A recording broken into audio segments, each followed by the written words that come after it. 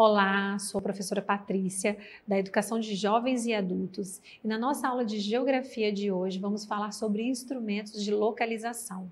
Será que esses instrumentos sempre existiram? Será que a gente tem, sempre teve em, mão, em mãos instrumentos para nos ajudar a nos localizar? Ou como era feito essa localização sem esses equipamentos? Então é o que nós vamos falar na aula de hoje. E para começar, Olha só, o homem, ao longo dos tempos, sempre desenvolveu as mais curiosas e engenhosas maneiras de se localizar sobre a superfície da Terra. Isso, olha aí um, um, desenho que eu coloquei, os seres humanos na pré-história.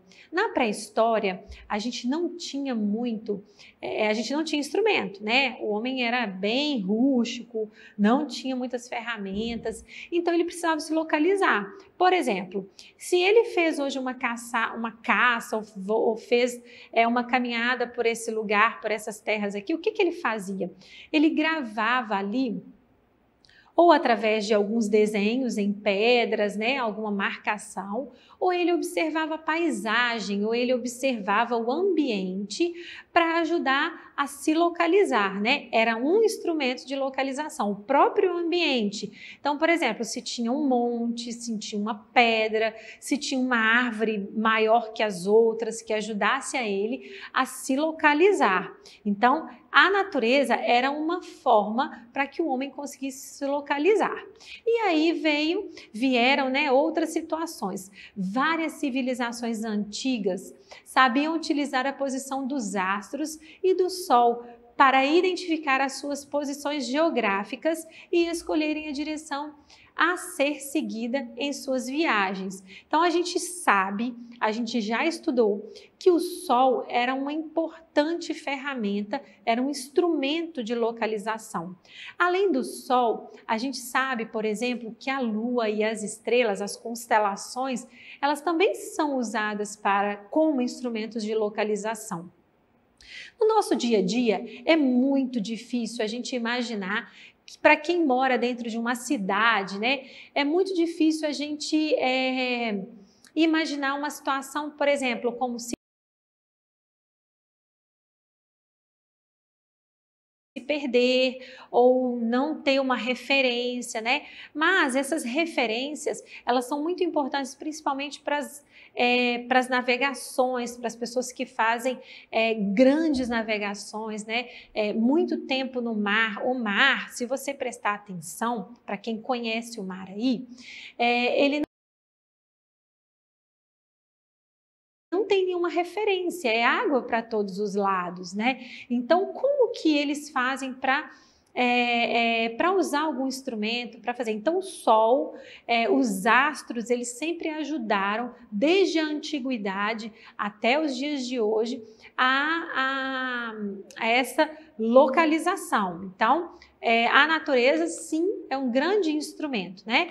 E a gente tem as referências é, que a gente usa. Eu já, eu já falei com vocês, por exemplo, o nome de rua, é, número da casa, o CEP, comércio de alguma região, endereços, rios, estradas, construções, pontos cardeais, e aí, o que que acontece? Como se orientavam então os navegadores antigamente, né? Eles não tinham bússola, eles não tinham GPS e eles não tinham nenhum instrumento para ajudar. Como eles faziam, né? Claro que as navegações elas foram evoluindo com o longo do tempo, ao longo do tempo. Então o homem foi construindo melhores instrumentos, mas eles usavam Ó, o Sol foi o primeiro meio de orientação utilizado. Então, muito antigo, muito importante esse instrumento de localização, o Sol. Geralmente, quando a gente fala de instrumento, a gente acha que é alguma coisa que a gente pode pegar, né? É o, o a bússola, é a rosa dos ventos, e não. O Sol, ele é um importante instrumento de localização. E a gente tem também, então a gente fala, né? Os astros são instrumentos de localização e a gente tem os próprios instrumentos que foram criados para auxiliar essa localização. Então a gente tem duas situações diferentes, né? Elementos da natureza e a gente tem instrumentos que foram criados. Então os astros quais são? Olha lá, o Sol, a Lua, as constelações, as estrelas. A gente tem aí um exemplo do Cruzeiro do Sul, que a estrela, as estrelas elas formam uma cruz e a, a, a parte onde está o Cruzeiro do Sul ele identifica o sul, a região sul, é o ponto cardial sul. Então ajuda sim a nortear. Por que, que é, durante a história foram aparecendo várias formas de, é, de é, identificação de lugares, né? Por quê? De localização. Porque, é, vezes, os navegadores, eles precisavam se orientar e tinha sol. Ora, aquele tempo estava nublado, estava chuvoso, então eles não tinham sol como referência. E durante a noite também não. E eles navegavam dias e noites. Então era muito importante, além do Sol, eles observarem outros astros e poderem se localizar através desses astros, que eram as estrelas, constelações, a Lua e entre outros que eles foram utilizando.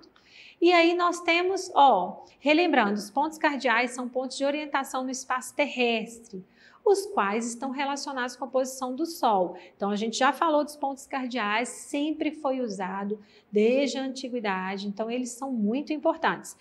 Tem situações que, é, descobertas feitas, né, é, lá em tempos muito antigos, que elas foram tão boas que nós continuamos usando até hoje.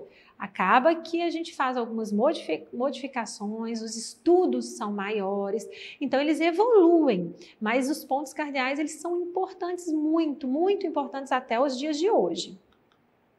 E aí a gente tem instrumentos, né? Os instrumentos de localização permitem a orientação das pessoas no espaço geográfico. Então, eles vão nos ajudar no nosso dia a dia aí.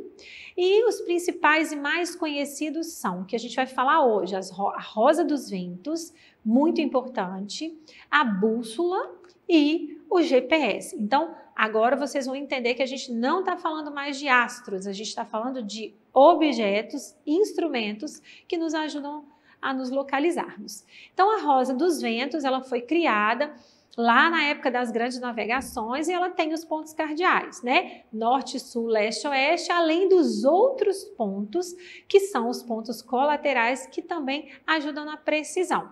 Então não se esqueçam, instrumentos de localização. Rosa dos Ventos é o principal e o mais antigo deles. E aí os colaterais estão aí, né? O Nordeste, o Sudeste, o Noroeste e o Sudoeste. São os colaterais. E aí a gente tem, ela, ela, ela surgiu, né? A Rosa dos Ventos, ela surgiu lá é, é, em tempos muito antigos, ela, ela, era trabalhada em relação ao rumo dos ventos, bem complexo, difícil de entender, mas que com o passar do tempo ela foi ficando mais clara e mais objetiva.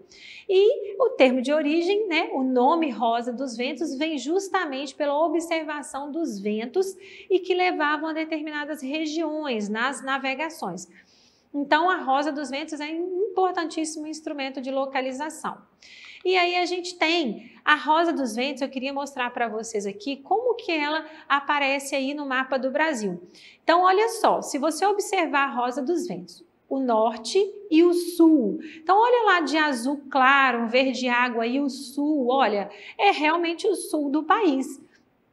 O leste, o, o, oeste, só você colocar a Rosa dos Ventos em cima do mapa do Brasil que você vai saber onde estão as regiões certinhas. Tá vendo que é muito fácil da gente entender e é um, um importante instrumento para gente? E aí a gente tem, ó, é. Então vamos fazer um resumo sobre a Rosa dos Ventos. É, ela tem né, essa visualização, leitura de interpretação de mapas, ajuda muito na interpretação dos mapas.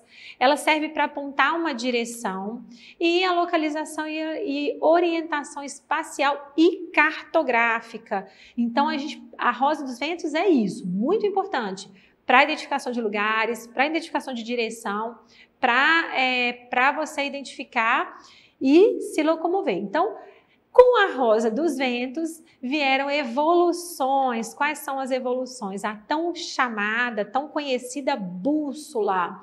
A bússola, ela foi muito usada por muito tempo, né? Ó, é, um, é instalada em aviões, navios, carros, é, motos de competição, de rally, por exemplo.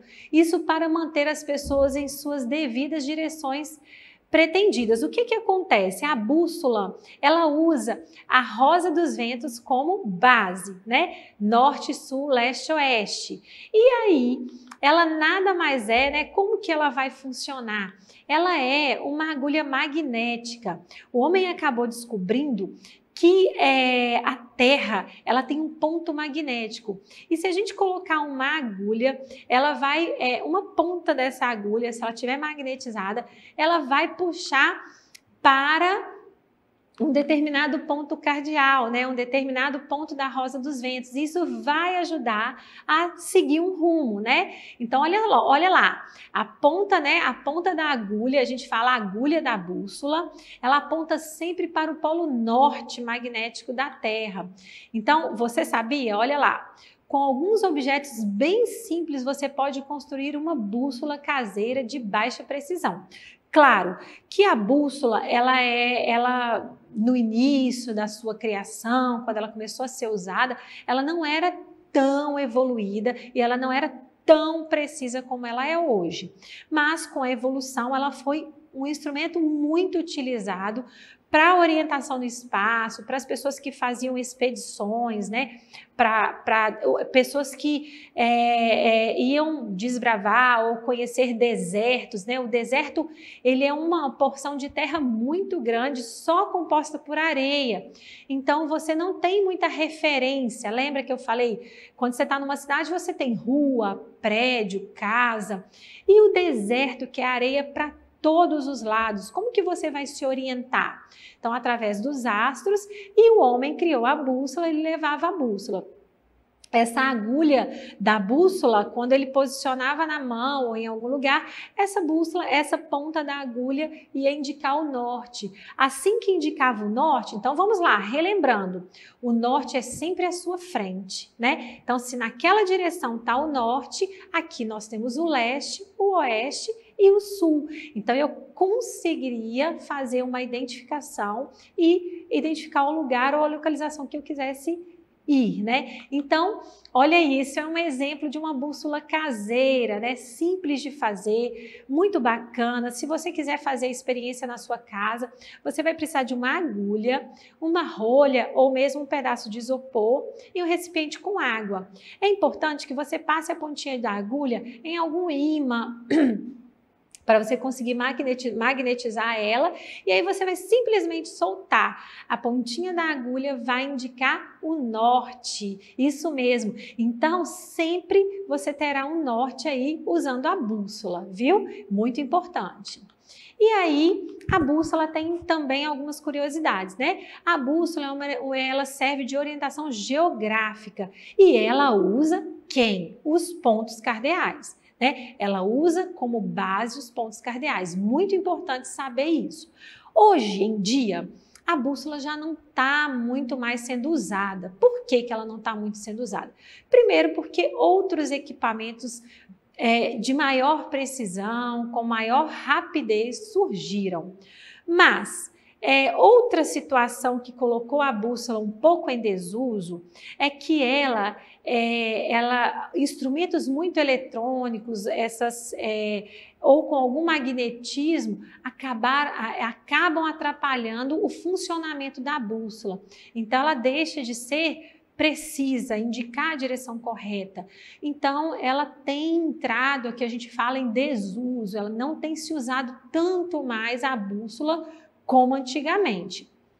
Em contrapartida, surge aí o tão famoso GPS. Você já usou um GPS? Você sabe para que serve e como usar, como ele funciona, o GPS, olha só, ele é essas três letras, né, o G, o P e o S, elas são uma abreviação para a expressão que é em inglês, né? É, ela é uma expressão em inglês que significa no português sistema de posicionamento global. Então é um sistema que ajuda no posicionamento global. Realmente global em todo o nosso planeta. Você consegue, através do GPS, identificar um lugar em qualquer parte do mundo, sem precisar ir até esse lugar e sem precisar de muitas aí dificuldades para conseguir identificar. O GPS ele foi inventado na década de é, na, em 1960, né? E é, qual que foi a importância do GPS? Ele é um aparelho bem pequeno. É, a gente sabe que a bússola também era, mas além de ser pequeno, ele, ele dá inúmeras informações, né? E como ele funciona? O GPS ele emite um sinal para vários satélites. Os satélites são aparelhos gigantes, muito grandes, que ficam lá na órbita terrestre, né? Ficam girando em volta da Terra. E esses satélites mandam respostas imediatas para o GPS, facilitando assim essa localização. E aí, o GPS, ele pode memorizar a sua rota. Então, se você faz para o seu trabalho todo dia aquele caminho, ou se você foi em alguma cidade e você quer gravar aquele caminho no seu GPS, você consegue gravar. Ele memoriza aquela rota. Rota quer dizer o caminho que você percorreu ou irá percorrer e ele é um indicador de hora, de velocidade e velocidade de deslocamento, né? Além de ser preciso e dizer o caminho que você precisa seguir, ele indica um monte de outras coisas. Ele também indica, lembra que a gente falou da, da latitude, da longitude, ele tem tudo isso, ele é muito ele é complexo, né? Ele, ele tem várias situações embutidas em um só aparelho. Então, ele é realmente um excelente instrumento de localização. E aí, igual eu falei, a altitude, ele fala também, ó, da temperatura, várias situações em que é, talvez a gente não teria em mãos, né? É, é, um aparelho tão preciso assim. E aí chega aí o GPS para facilitar a vida hoje do homem em todos os sentidos, né? O GPS ele não é simplesmente um aparelho para só definir uma rota. Não, ele serve como instrumento de trabalho para várias pessoas, ele serve como um instrumento de localização, ele serve como um instrumento é, é, de novas rotas, ele ajuda a criar novos caminhos, caminhos mais curtos, ele te dá o tempo que você vai levar para chegar em determinado lugar. Então, é, é muito completo e foi muito bem utilizado, né? Ele é muito bem utilizado no mundo de hoje principalmente porque a gente tem a tecnologia hoje dos celulares, dos computadores. Então, o GPS ele não seria possível com essa evolução. É, a gente não teria um aparelho tão evoluído se a gente não tivesse hoje a internet e a evolução dos aparelhos eletrônicos. Então, ele veio aí para contribuir e facilitar muito a nossa vida. E para a atividade de hoje, eu gostaria saber se você já usou algum instrumento estu é, que a gente estudou hoje na aula para se localizar. Fale um pouco sobre ele no seu caderno e como foi a sua experiência. Para quem já escreve, eu vou pedir aí um resumo. Você vai fazer um resumo de um desses aparelhos. Se você já usou, o que, é que você achou sobre ele. Se você gostar também, se você quiser também falar de algum aparelho que você teve contato, que você achou interessante, você pode falar. Então, para o pessoal que já consegue fazer aí, ó, pequenos textos, eu quero um resumo. Para quem está começando, você vai relembrar da nossa aula de hoje, vai escolher um aparelho e vai falar sobre ele. Se você não consegue escrever sobre esse aparelho, você vai falar sobre as características, como ele serve, por que ele é usado para alguém da sua família, da sua casa. É muito importante sempre relembrar o que você estudou. Espero que vocês tenham gostado muito da nossa aula de hoje. E para acessar as nossas atividades na plataforma SMED GV, aponte a câmera do seu celular na imagem que aparece no canto da tela. Acesse as nossas redes sociais e se inscreva em nosso canal do YouTube SMED GV. A todos vocês um bom trabalho e até a nossa próxima aula.